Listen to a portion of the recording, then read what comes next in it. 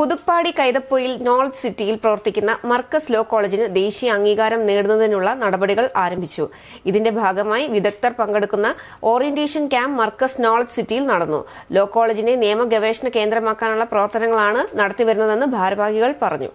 രണ്ടായിരത്തി പതിനാലിൽ തുടക്കം കുറിച്ച മർക്കസ് ലോ കോളേജിന് നാക്ക് അംഗീകാരം നേടുന്നതിനുള്ള പ്രവർത്തനങ്ങളാണ് മാനേജ്മെന്റ് നടത്തിവരുന്നത്.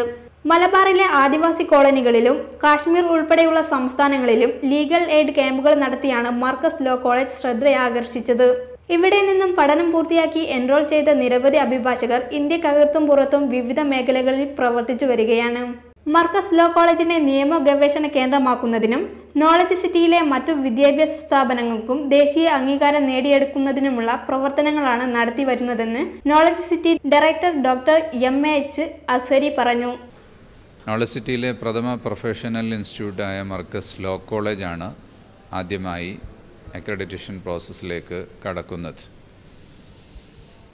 പ്രഥമ ബാച്ച് പുറത്തിറങ്ങിയതിനു ശേഷം പോസ്റ്റ് ഗ്രാജുവേഷൻ കൂടി അംഗീകാരം ലഭിച്ചിട്ടുള്ള മർക്കസ് ലോ കോളേജ് വിജയവീതിയിൽ വളരെ ത്വരിതഗതിയിലാണ് മുന്നേറിക്കൊണ്ടിരിക്കുന്നത്.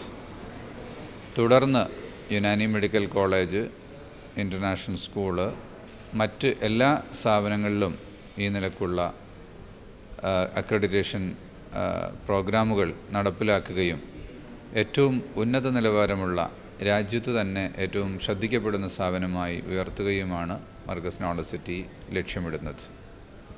ലോ കോളേജിന്റെ നാക്ക് അംഗീകാരം നേടുന്നതിന്റെ ഭാഗമായി വിദഗ്ധരെ പങ്കെടുപ്പിച്ച് ഓറിയന്റേഷൻ ക്യാമ്പ് നടത്തി. Knowledge city director doctor M A H Azhari ഉദ്ഘാടനം ചെയ്തു. പ്രിൻസിപ്പൽ അസോസിയേഷൻ മുൻ സംസ്ഥാന പ്രസിഡന്റ് ഡോക്ടർ ഉസ്മാൻ വിഷയാവതരണം നടത്തി. Professor Umarul Farooq doctor Abdul Salam doctor Anju N Pillai Abdul Samad തുടങ്ങിയവർ സംസാരിച്ചു. Time vision news Thamarassery.